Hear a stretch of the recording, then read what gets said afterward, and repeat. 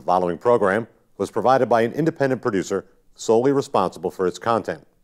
The opinions expressed do not necessarily represent the views of this station, its staff, board of directors, or underwriters.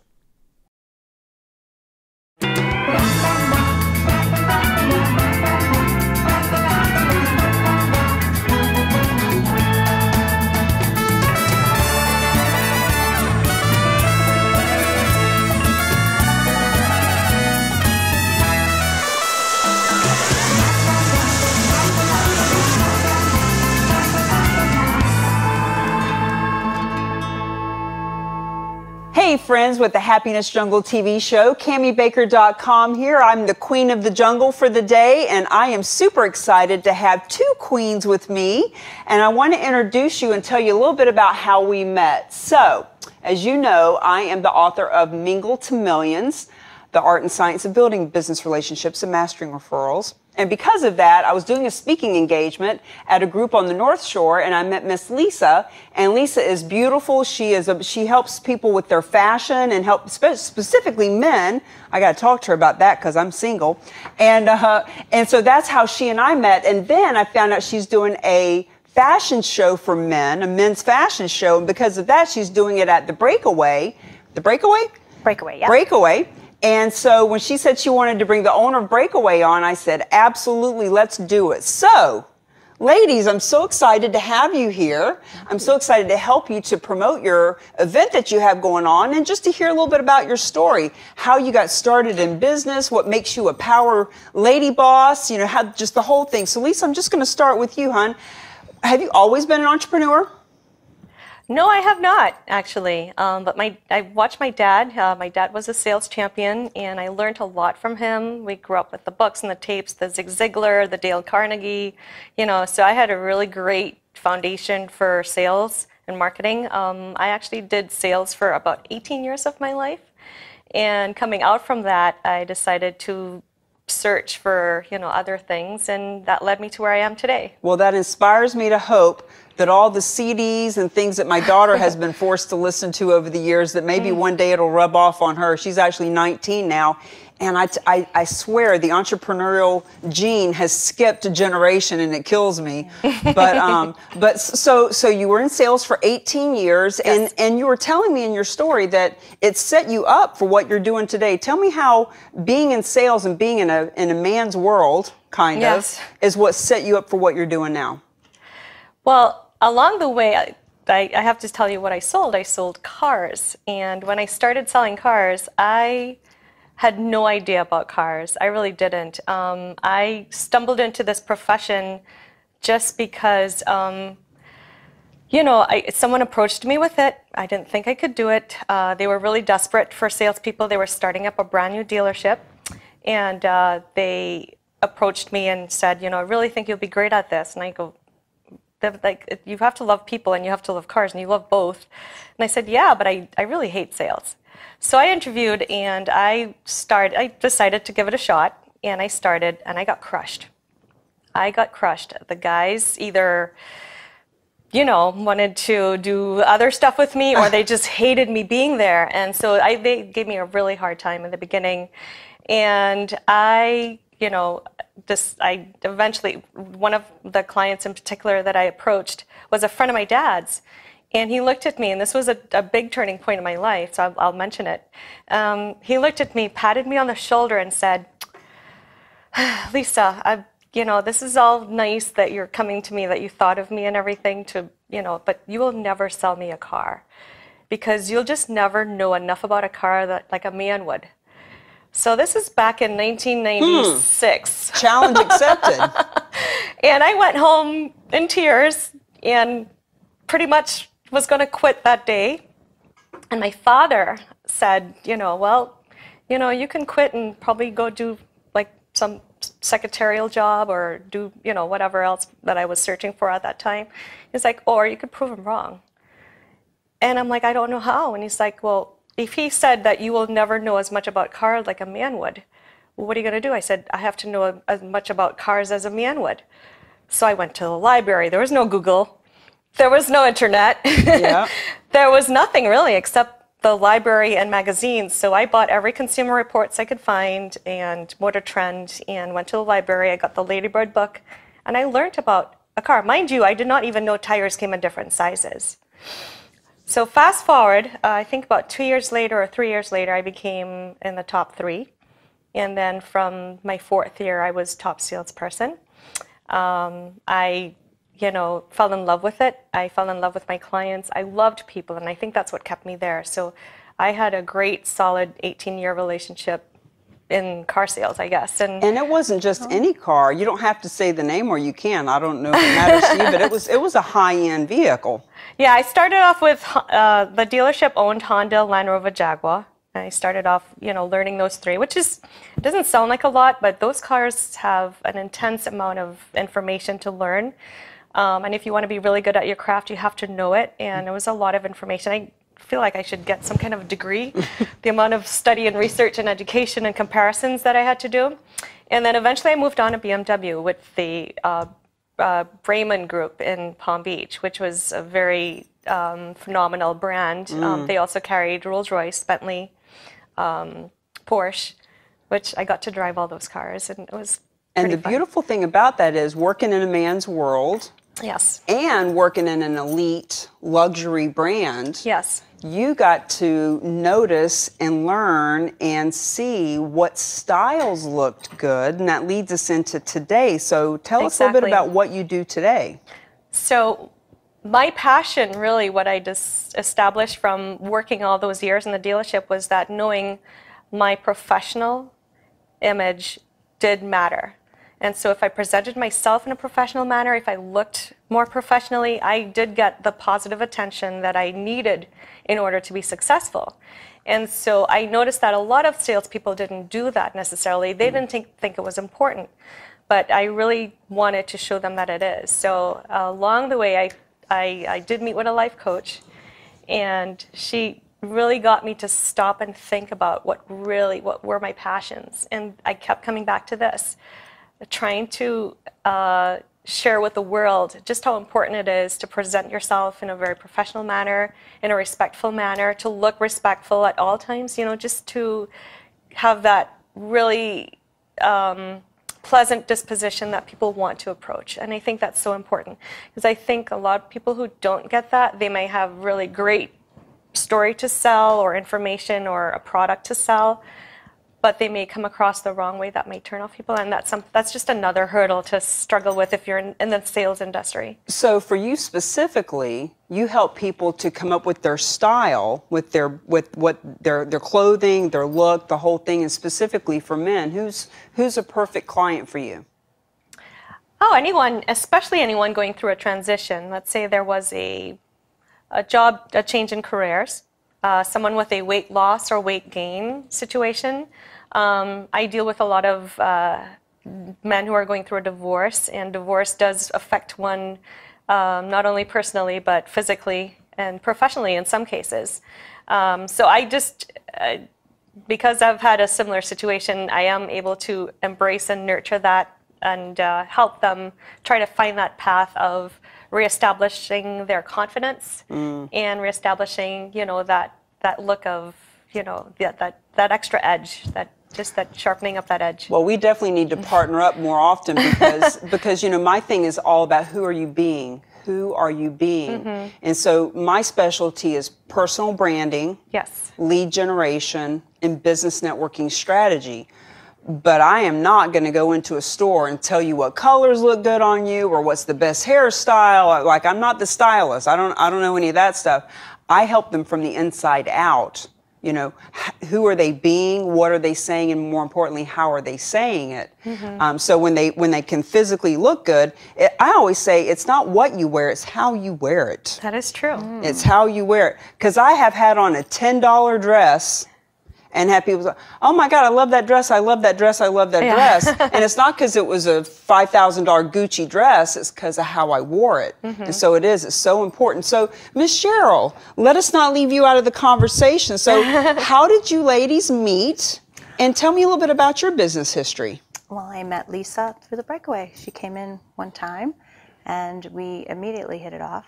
She's very smart and bright and she was helping us because the breakaway opened about two and a half two and a half years ago, and it was a sinking ship.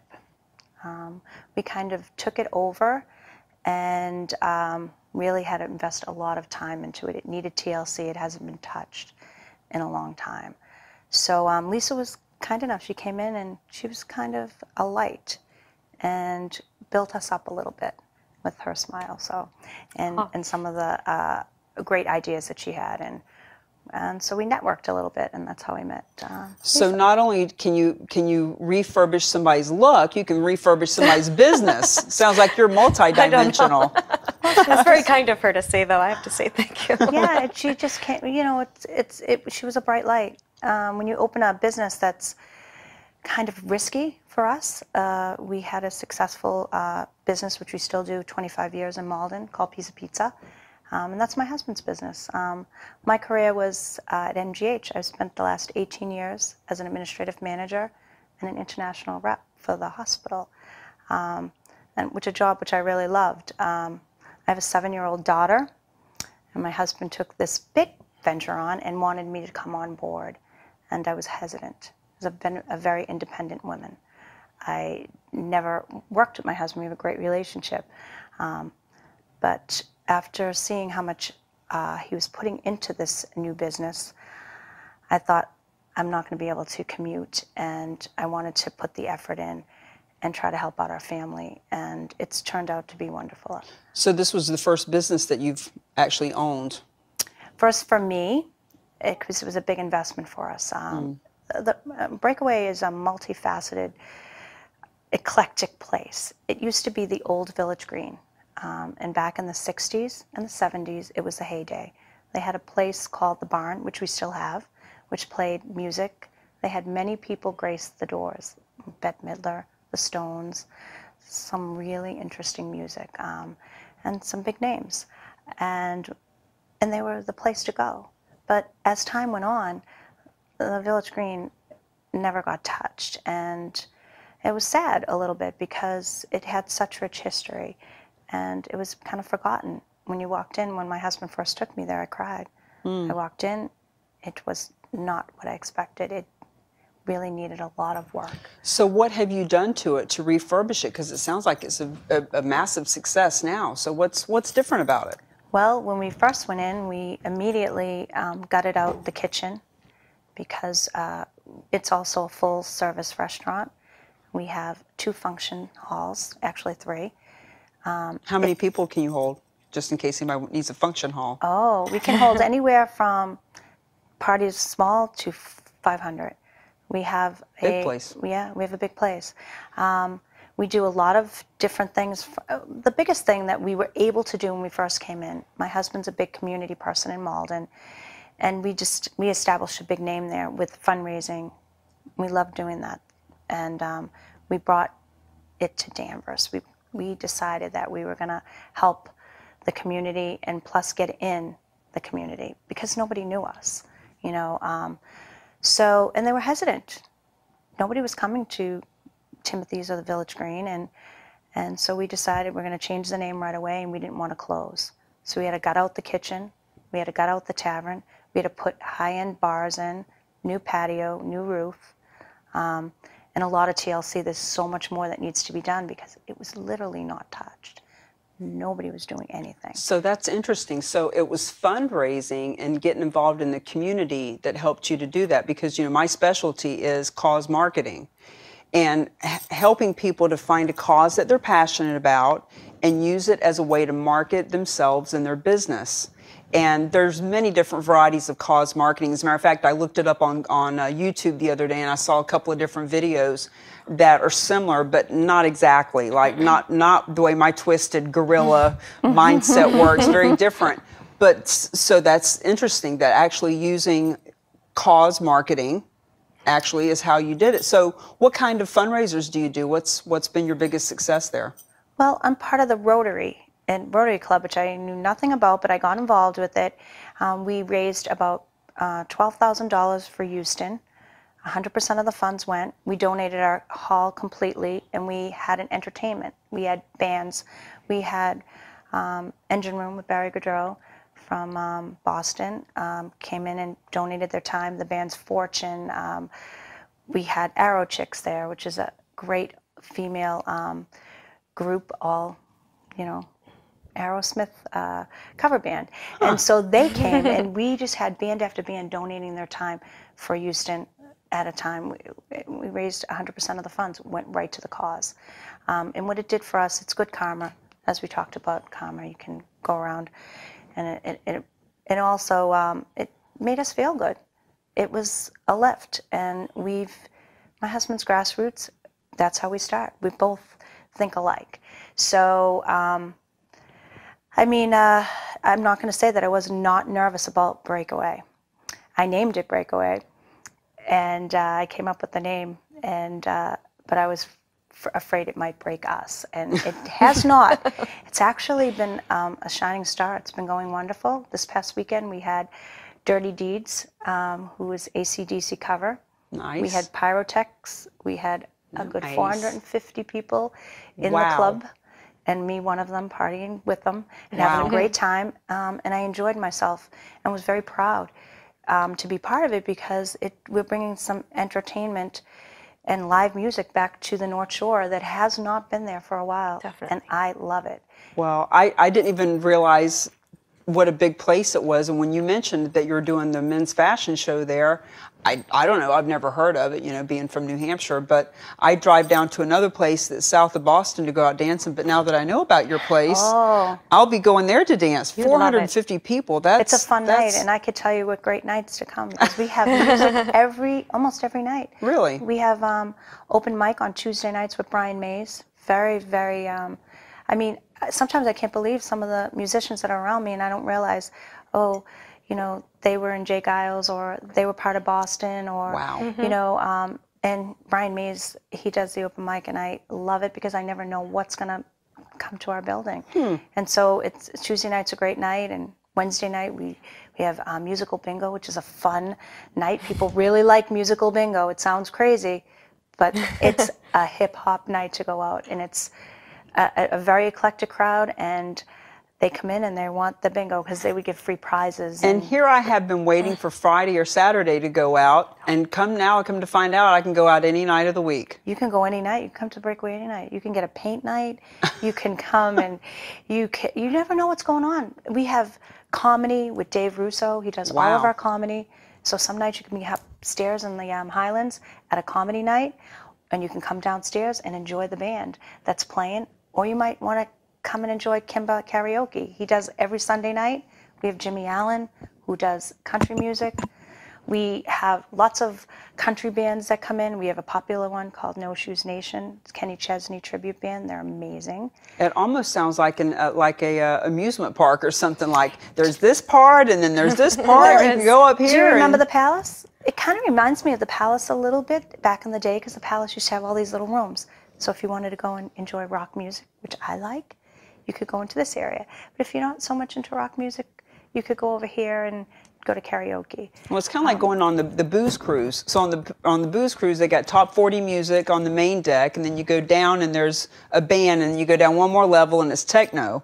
It's so, it's it's funny. It's it, it's a big place. You just never know what's going to happen. I mean, sometimes there'll be somebody getting married up in the Highlands, and they're having a wedding, and then their wedding party will come down, and they'll all be dancing in the club side, which is the barn, the original barn. It's so much. It, it, there's so much going on, and um, I love being part of it. We might be doing a fundraiser. We've done fundraisers, such great causes, and well, the the fundraiser that you're doing together is for Dare. That is correct. Yeah. So That talk to me a little bit about how you chose that cause and and and how that all came about. Well, just with the drug ep- epidemic today, and uh, we wanted to really support the Danvers police in their um, efforts with DARE and just make it aware because it's just it's what's going on in the world today. It's starting very young. We're not talking of, um, we're talking kids 10 years old and, and more, and they need to make it a, make our children aware starting at an early age. My daughter's very young and she knows already because they're already presenting it in the schools. And the DARE program is such a great program. Um, Danvers is a wonderful community, and we wanted to try to help them with this. Um, and Derek, is Derek Colella is his last Yeah. name? Yep, Derek Colella heads this up, and we wanted to support this. We we thought of a lot of different things to do, but this struck out as what we really wanted to. Well, and of course, with you being involved, of course it would be a fashion show. Because Yeah, actually, the idea came between Cheryl and myself. Um, we originally thought of a g- generic, just a general fashion show, and I said, Cheryl, what about a men's fashion show? Let's do something different. You know, just do a men's networking fashion show event, but you know, let's still use it for a cause. And we both agreed like right away. So we started getting together and putting some things together. Um, one of the things I know, um, just talking about the Danvers Police, that the DARE program started, I think, in the uh, Reagan era, where there was that war on drugs.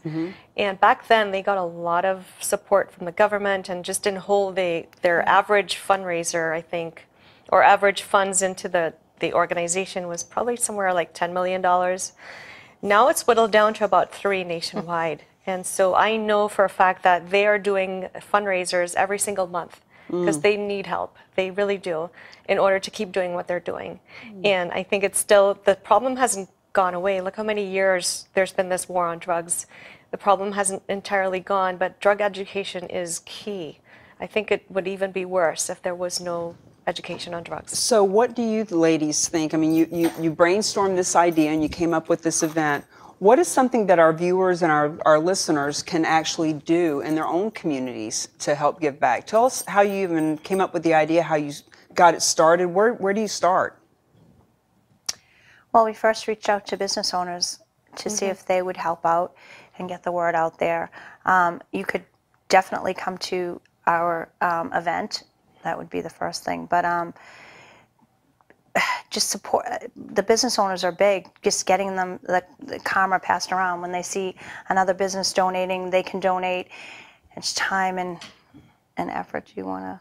Yeah, as a, I mean, I can, I, I can just surely tell you what I've seen for myself and why I support Breakaways so much. I'm so excited about their place doing so well. Is that they continuously, I think on a monthly basis, do fundraisers and give back to the community. And I'm so proud of like all the things they've they've built up such a positive name for themselves. I can tell you that. She's very humble, but it's they're huge in Danvers. And what I love about it too, there's huge parking. It's very accessible off of 95 and Route 1. Uh, very easy to find, and the food's great. We didn't even talk about food. Well, I was going to ask you what I was going to ask you. What is your specialty there? What What is the thing you get uh, ordered the most? Well, we are very famous for the pizza because of Pizza Pizza. We make our own dough fresh. We do a Sicilian style pizza, Italian. Um, we do round. We do calzones. We do anything from steak tips, which are marvelous. We have burgers to die for, bacon, egg, and cheeseburger, which I haven't had for a while because I'm dieting a little bit, but it is one of my favorites. Um, we have great food. We do functions where you can get high end, whatever you want. You can get it at the breakaway. We, uh, I'm very proud of our two chefs, Chef Luciano and Chef Jim. Um, they've worked really hard, tirelessly to uh, put out good food all the time because there's so many functions that could be going on in one day, and Yeah. they're working endlessly with the halls up and down. How do you keep up with all of it? Like, uh, what? A great team. We do have a great team. Um, we have a great general manager. His name's Dan Muccio. He ca- used to run um, the North Andover Country Club, and uh, oh my goodness, I can't think of the other place that he used to run. It's not open anymore, but um, Dan's a wealth of knowledge. He's come in and brought structure to the building. Um, my husband, uh, Joel Crowley, he uh, is hands-on. There's nothing that we will not do in the in that building that we will not ask a staff member to do. Um, We have a great function coordinator. Her name's Susan Dascoli. She's amazing. People love her. She sets up rooms, makes them beautiful, does things that, I mean, can go in and I say, wow, I can't believe this room is amazing. We do wine tastings. We do a lot um, PTO fundraisers. We do I can't even think of something that Bar we mitzvahs. haven't done because we, we do bar mitzvahs, we do sweet 16s, we have s- 16 for 16 special that people come in and we, we give them this great menu so they can afford it. Um, we're, we really love what we do, but the one thing that I love is I'm proud of it because we've gave, given a lot back to the community.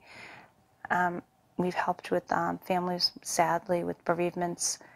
We've had them come in and um, at sad times, but we've turned some things around. We helped raise money for a family. They lost their daughter very young, and we did a memorial. We were able to raise forty-two thousand dollars that night, wow. and things that would.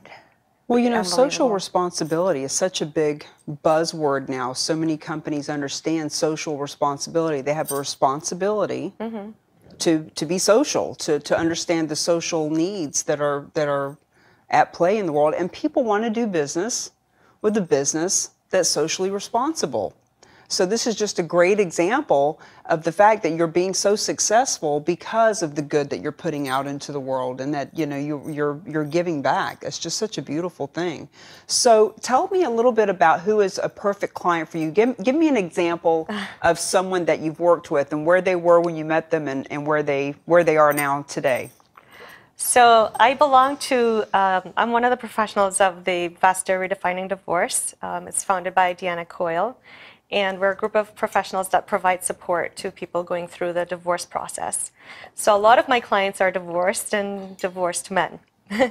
and um, one client, for example, you know, he's never really handled his wardrobe on his own. His wife used to do it. Now he's single and on his own and um, needed some guidance and direction as to like just basically getting it set up right. He traveled a lot, so I helped him identify his traveling wardrobe as opposed to his, you know, everyday wardrobe. Um, I also took the prerogative of uh, helping him like shopping for him and um, then he wanted to have his you know pictures taken so that he could put it on the you know dating sites so i then did a wardrobe styling and you know getting him ready for his photo shoot which he now uses for his dating site. So it was a full service from you know getting him just organized get dressed and looking good looking feeling more confident Well, God bless you for helping guys with that because being an online dater myself, I know there are some really bad profiles. So we are running out of time, mm-hmm. and I'm just going to have to say goodbye. I, I would love to get your your last little pieces of advice, but let me just say, make sure you have them cut their nose hair and their eyebrows. Yes. Right? Yes. Do you see? Yes. See? The women, we see that. We Yes. cut it. Cut it. It's hanging out. We see it. I've seen people with just golf balls hanging out of their nose. So, Happiness Jungle TV show. Super excited to have Lisa and Cheryl on.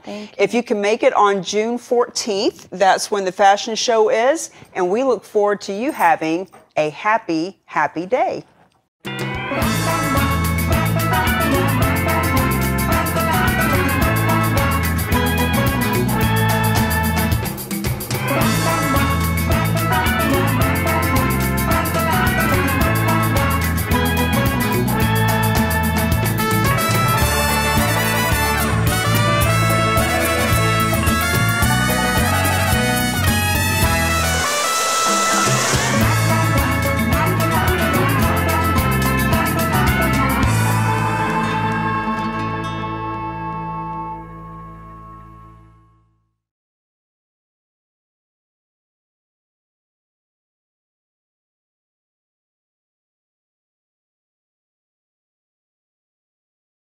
The preceding program was provided by an independent producer solely responsible for its content. The opinions expressed do not necessarily represent the views of this station, its staff, board of directors, or underwriters.